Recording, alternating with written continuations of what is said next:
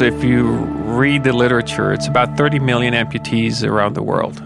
I think what motivates me is when I see the individuals that we actually do help.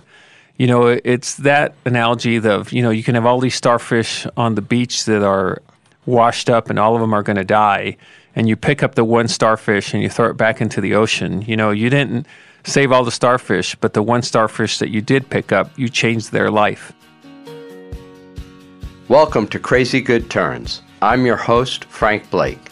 We celebrate people who do amazingly good things for others. And today we're going to be talking to two people who exemplify what Crazy Good Turns is about. They are part of an organization, Limbs International, that's dedicated to providing affordable, high quality prosthetics for amputees throughout the world. It's estimated that there are somewhere around 30 million, that's right, 30 million amputees throughout the developing world and only 5% of them have access to any form of prosthetic device or assistance.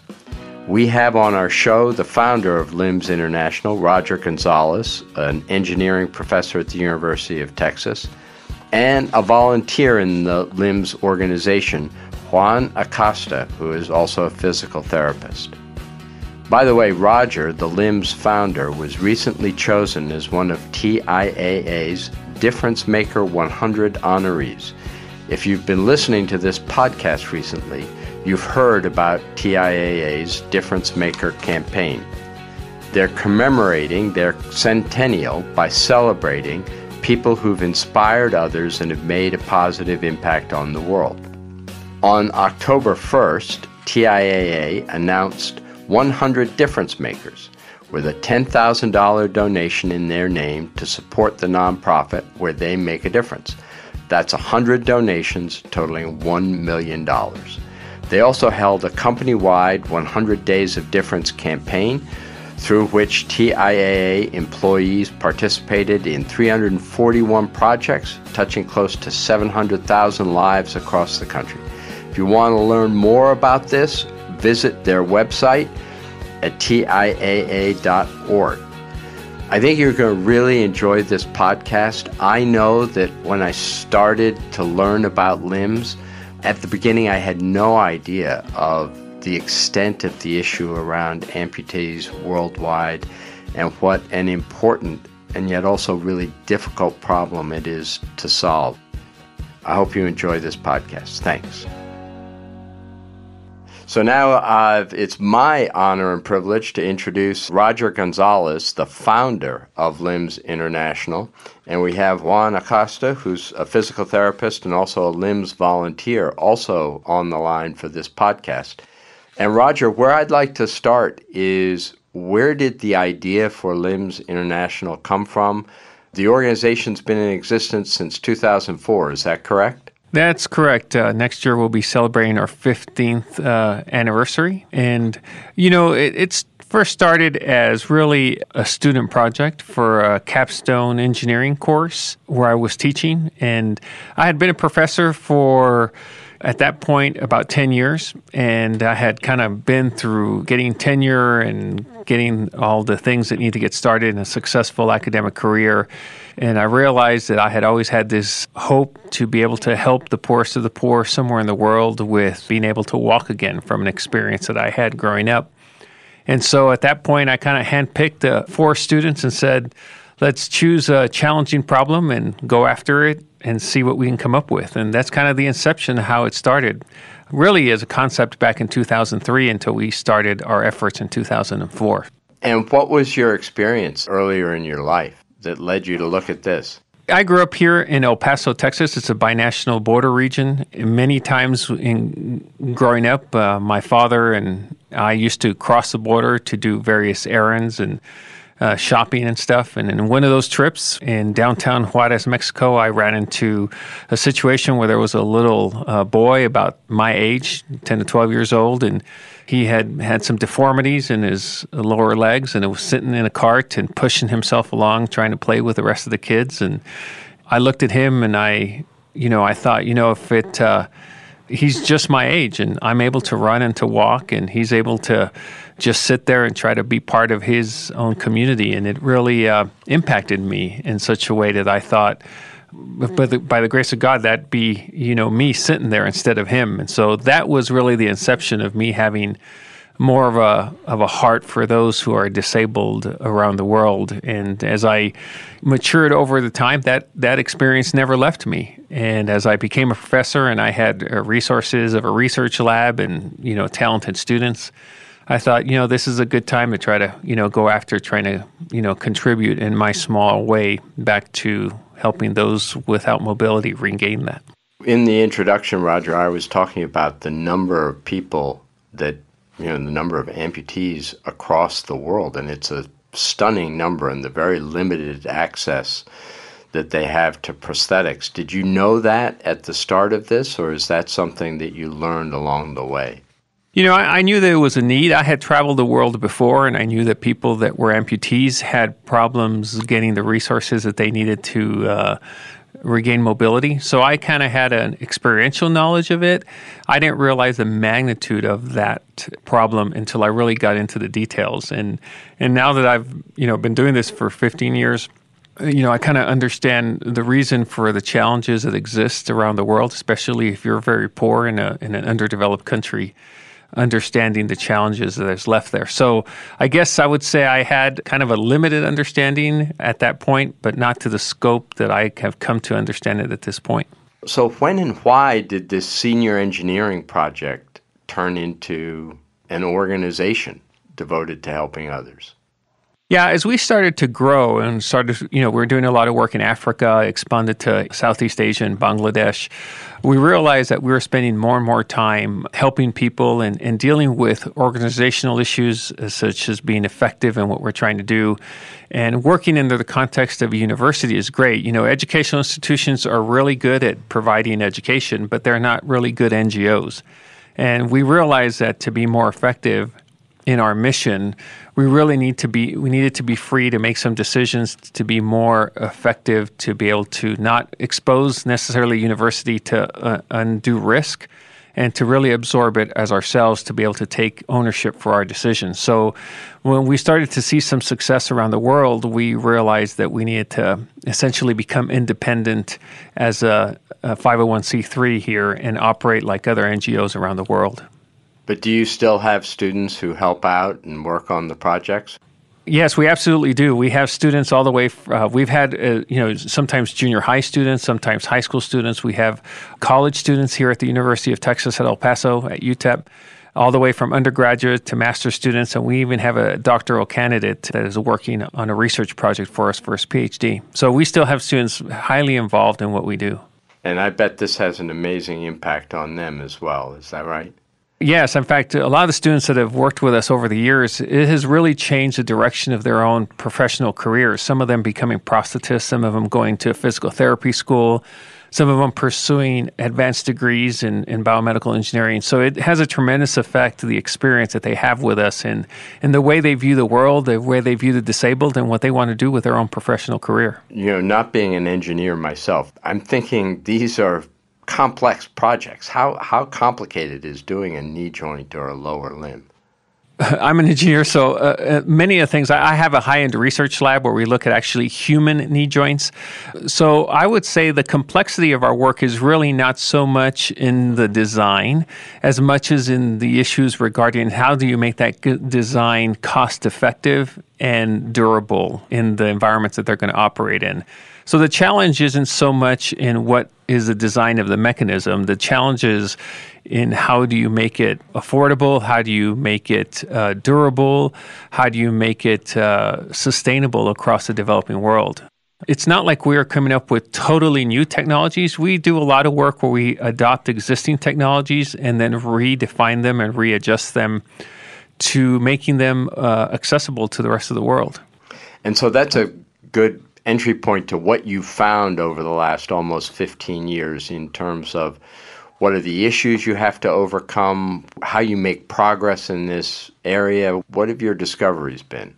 Early on in getting into this, we realized that one of the challenges was uh, how do you create a low cost device that is durable? I think you, there's devices out there that exist that are low cost, but they have significant limitations on durability. And by durable, lasting how long? We designed our, our devices for a patient that walks 10 to 15 kilometers a day, and that we wanted to have a durability of anywhere from five to seven or eight years or longer. And so we really targeted amputees that were at the younger stages of life that really had lost mobility and it was impacting their own livelihood so that they needed to walk again so they could you know gain employment and be back in society.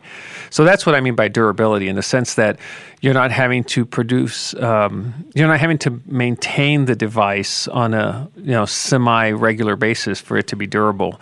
And so that requires the implementation of technologies that say, okay, how am I going to deal with environments that uh, have a lot of dirt, a lot of water, don't have to be, you know, kept very clean, that have the ability to uh, endure impact, you know, being dropped and stuff. So all those things become factors in how we design our devices. And over time, we have learned that certain things work really well and some things you know, could work better than others. And so we have refined our design over 15 years. We're soon releasing our latest uh, model that actually has better performance and lower cost. So we keep, you know, it's really interesting because we keep making devices that have uh, better durability and still reducing the cost more and more. And that's always something we're working on. So that's one of the issues that we ran into is, is this issue of durability.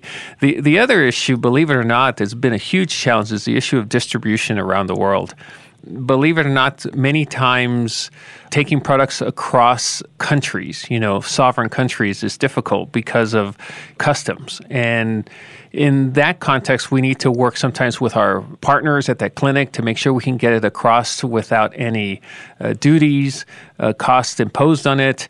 Uh, we have to work with organizations such as Rotary International in some places to get across. So, distribution across uh, sovereign countries has been incredibly challenging, and it, it's almost proportional to typically the the more underdeveloped countries, the harder we have to work at it because of the restrictions they have in bringing in products. So that's been a big issue.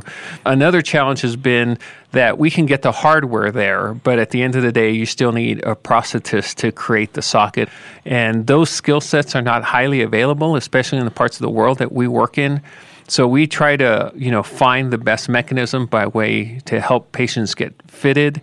And then, you know, over the last probably 7 or 8 years, we've realized that even if let's say we get the device to you, it's durable, we find a prosthetist to fit you, at the end of the day, you still need rehabilitation. And that rehabilitation is probably the key factor in your being able to truly regain mobility. And rehabilitation and developing world is almost a non existent uh, discipline. And so we've had to introduce the concepts of rehabilitation for amputees at, at various levels and working with our partners around the world. And that's where people like Juan, that's a volunteer with us, and other prosthetists really impact the work that we do because we realize that if I can produce a piece of hardware, I can get it to you, I can get you fitted. But if I don't teach you how to walk again and teach you some basic principles of rehabilitation, really the long term impact of what we do is going to be severely limited. So that's a great intro to asking Juan about Juan, how did you begin working with Limbs International? Roger and I have a long history. We were both students here at UTEP 30 over 35 years ago. Our lives took different paths. He became an engineer. I became a physical therapist. I've always admired his work from afar.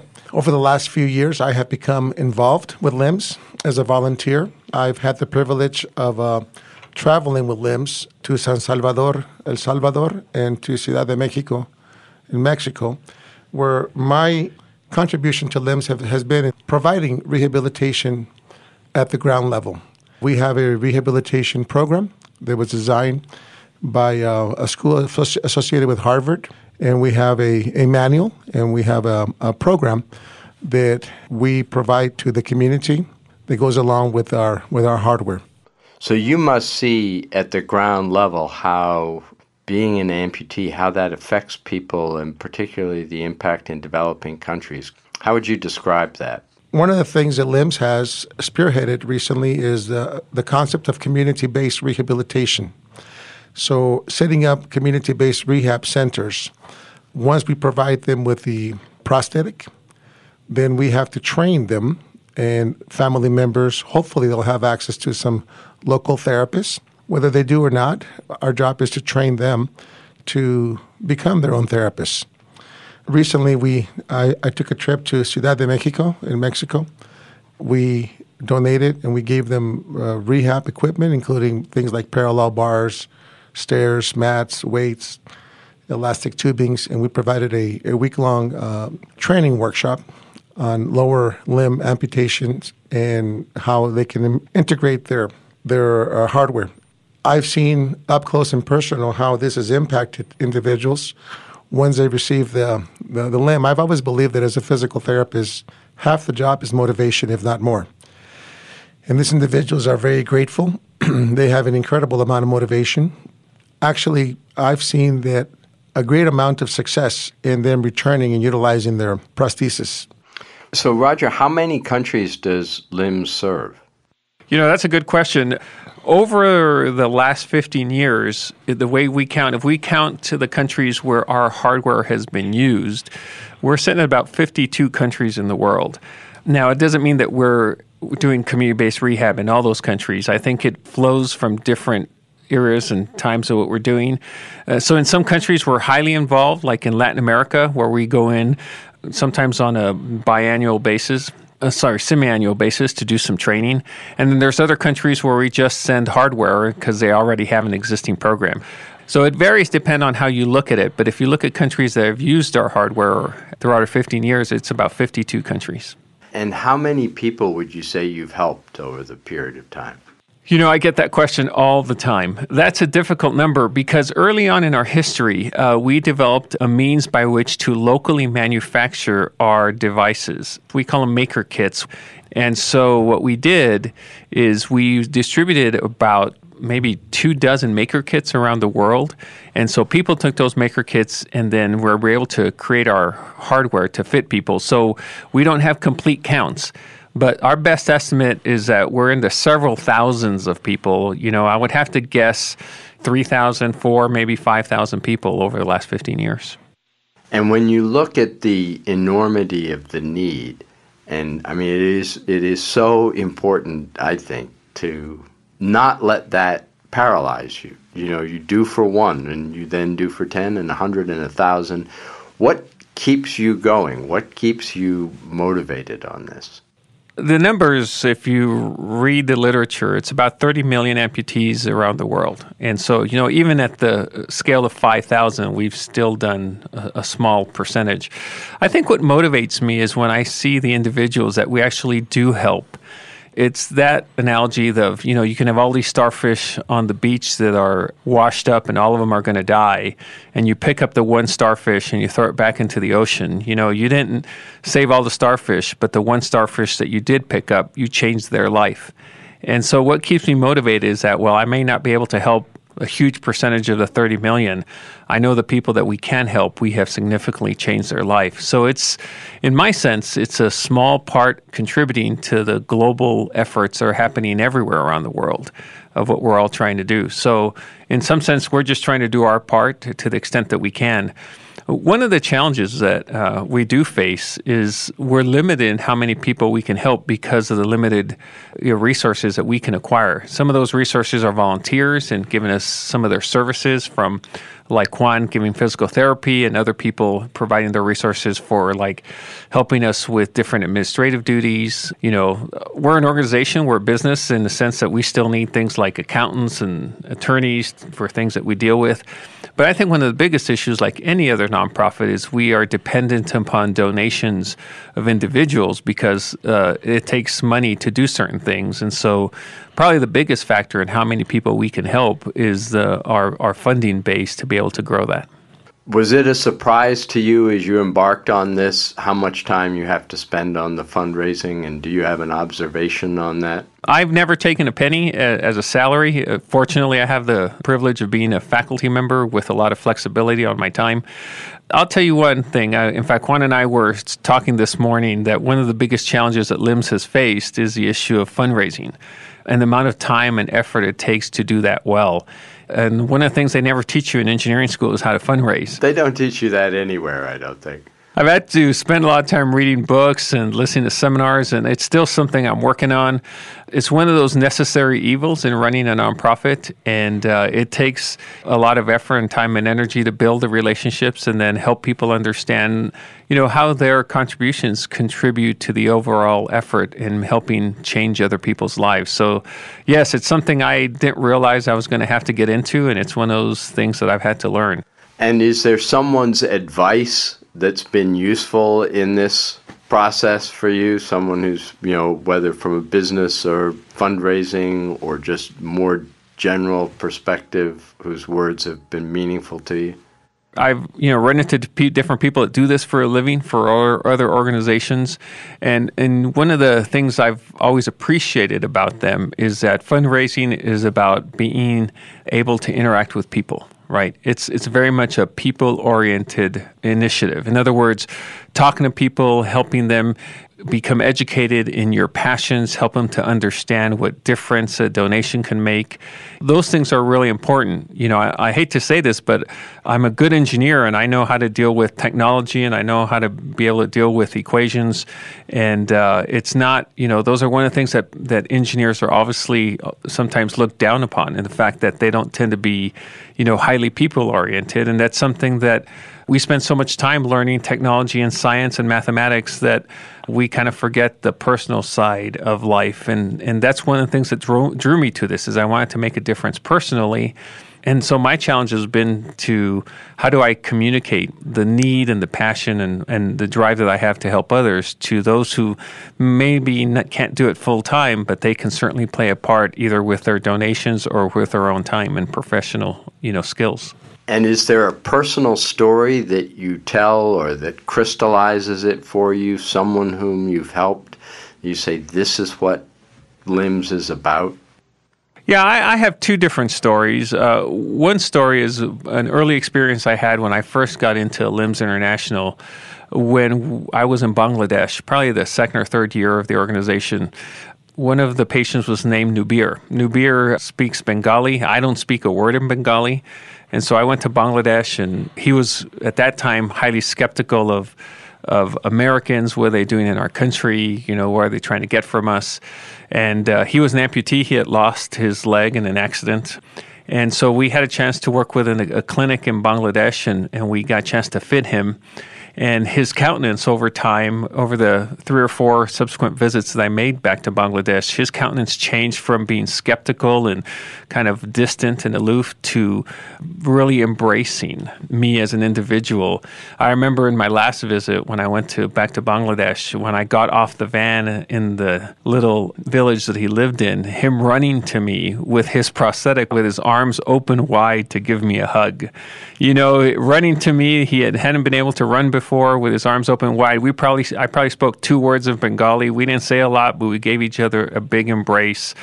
He ended up changing his life. In other words, today or, or the last time I saw him, he was you know out walking around, flagging down buses. Because what happens in Bangladesh, if you're a person with means, you sit on a bench and let someone else flag a bus down for you so you're not standing on the edge of the road.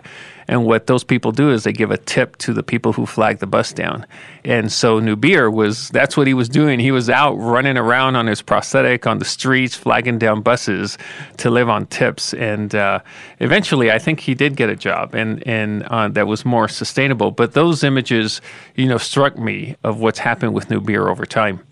The second one is actually a very recent experience I had. I was in um, in Cuernavaca, and uh, that's in Mexico, uh, a city outside of Mexico City, and um, I ran into an older man in his 50s that had had a double amputation above his knees, uh, lost both legs to complications of diabetes you know, we typically don't recommend to fit a double amputee because it's just very difficult, no matter what kind of technology. Even if you have US high technology, it's very difficult to walk again. So I knew that he probably would never be able to walk unassisted in any way again. But they had fit him. And uh, so I showed up uh, to uh, the city and, and I met him.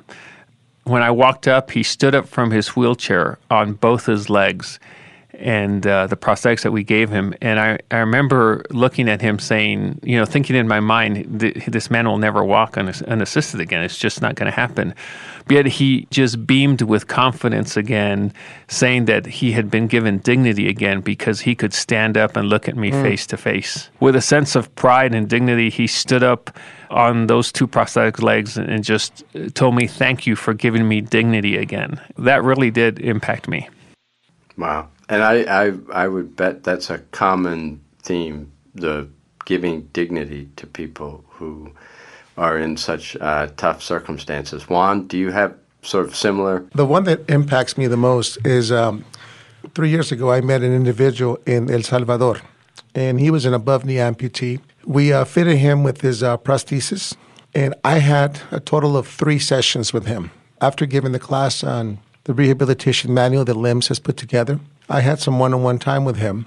And now, mind you, I've been a physical therapist for 32 years, and it's hard to have an above knee amputee walk immediately. Yet, this man had so much motivation that within those few sessions that he had, he was able to master uh, his prosthesis and, and move on to a cane. Shortly after that, he would send me short video clips. And he would show me videos of him going up and down stairs, videos of him climbing a ladder to the roof. You know, he still stays in touch with me. He's working, he's uh, helping sustain his family. By the way, his name was uh, Miguel. The other story is uh, a young man named Samuel in Mexico City. He also lost his limb due to diabetes. He had a, complicated wound him being an above knee amputee, he's gone through two prostheses, works full time, sustains his family, is very active in the community, and he is very active in encouraging other amputees. He works with an organization there locally in Mexico City that we have partnered up with, and they look for individuals who've had recent amputations, and they'll visit them in the hospitals, and they'll tell them, look, there is hope. You will walk again. By the way, we have this organization that partners up with us and, and will help you get a prosthesis. So these stories are are very encouraging to me uh, as a physical therapist that uh, I can provide uh, some hope to somebody you know right next to to our country and uh, knowing that LIMBS has a, an international impact is very encouraging. Those are amazing, amazing stories. One other thing that I'd like to touch on is Roger, you were chosen one of TIAA's Difference Maker 100 honorees. I guess this goes into the fundraising category. How did you how did you think of applying? How did that process work? And congratulations to you. Thank you. You know, I was on TIAA-CREF's uh, website because they're the ones who do the you know they're one of the organizations that manages you know the retirement portfolios for university professors. And i was on the site and i and i saw this uh, difference maker thing and i just kind of kind of saw and thought oh that's that's really nice. It came up in one of our staff meetings and stuff and our uh, one of our um, volunteers that helps do some grant writing for us uh, said to me, Hey, you know, I think you should uh, let me nominate you for this. And I said, You know, I appreciate that, but, you know, I'm sure there's a lot of great things done by many people around the world, and just, we're just one of those points of light. And she goes, No, I really do think you should let me do that because, you know, obviously you're a faculty member, and, you know, I, I think you have a great story because you're. And so I said, Sure, if you'd like to do that. So she went ahead and nominated me, and, and that's how it came to be. Congratulations. And where is LIMBS poised to go for the future? You know, one of the challenges, as, as I mentioned earlier, is we've realized that rehabilitation is such a key portion of regaining mobility and dignity again. And it's a need that in underdeveloped countries, like I said, is highly non existent. We don't run into many physical therapy professionals around the world. So our future really is to say, okay, let's continue to improve our technologies and, and continue to do, meet those needs, but to use that technology as a, as a point of leverage where we can really say, let's expand our influence to helping people gain the rehabilitation help that they need. And so we look at rehabilitation very holistically. We don't just look at it as ability for you to regain physical mobility because many people who are amputated suffer from uh, depression. They suffer from a lack of motivation in the sense that, you know, what am I going to do now because I can't walk? What am I going to do now because I can't get a job? What am I going to do now because I can't provide for a family? Especially if you're young and you think, how am I going to provide? You know, these countries don't have the social uh, network or the the help uh, governmental help that we see in the United States. So they're really in a very difficult difficult place. We're working alongside various partners around the world to address rehabilitation, not just by, hey, here's how you can walk better, but helping them understand that the, the struggles that they face, both emotionally and other factors that relate to their own well-being can be addressed also. You know, we're not there. We come in and do some work, we do training. So we are very very focused on finding uh, local partners in these places of the world to help them understand, let me help you help others. Yeah, you know, we're not trying to create professional prosthetists and know everything about physical rehabilitation. We're not trying to create, you know, professional counselors, but we're trying to empower the local community to be more effective at being able to do what these local communities have the ability to do. And that's why we call it a lot about we use the term CBR, community-based rehabilitation. That really is the future of where we're going. And you know, you've heard the axiom give a man a fish and feed him for a day, teach him to fish and feed him for a lifetime. Uh, you know, we're really working hard at teaching people how to fish so that long after we're gone, they keep giving back to their community. And that's a slow process. That's why we've, over 15 years, that's why we have not been able to do tens of thousands. We've been able to do just a few thousands because we spend our time focusing on what's a long term effect. You know, at some point, you know, I'm going to move on and, and maybe LIMBS, depending on what happens with LIMBS, you know, it may continue or may move on. But I feel that what we've done as an organization will keep giving back long after our lifetime process has been played out. Roger, what a what an amazing story, and thank you so much for sharing it. I, this is a truly a crazy good turn that started from something you saw as a child, and then a student project, and into something that has helped thousands and and brought attention to to a really major major issue. And Juan, thanks very much for your work and what you do with LIMBS and the impact you're making. This is uh, truly inspirational appreciate very much your participating, and I hope that the people who are listening to this podcast and who are moved by uh, what you've talked about will take a look at your site, limbs.org, and check out your website and check out what Roger, you and your team do because it's really impressive.